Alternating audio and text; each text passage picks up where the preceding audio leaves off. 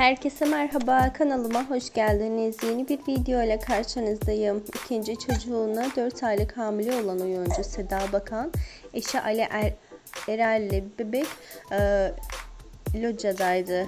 Mekan çıkışı gazetecilerle ayaküstü sohbet eden çift her şey yolunda. Hamilelikte çok güzel geçiyor diyerek evlerinin yolunu tuttu. Seda Bakan'ın mantosunun arkasında bulunan kedi simgesi dikkat çekti.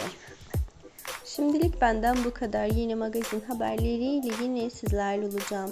Videomu beğenmeyi, kanalıma abone olmayı unutmayın. Hoşçakalın. Diğer videolarımda görüşünceye dek.